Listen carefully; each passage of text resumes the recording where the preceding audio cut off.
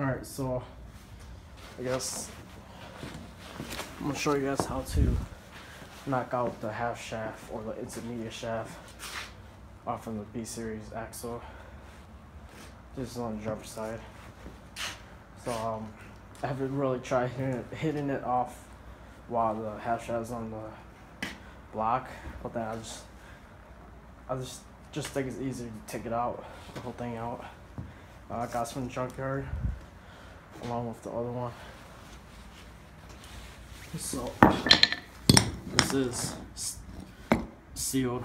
Um, it is clipped in. So what I usually do is just hit the side. Uh, this is a mini sledgehammer.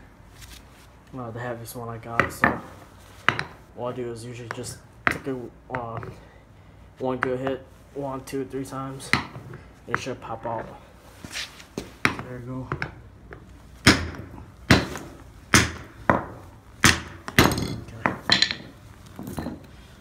There it is. Um, I had ran into some axles before where it's just really stuck.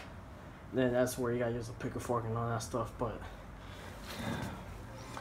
but then this one just somehow was easy to take out the sledgehammer. So, yep.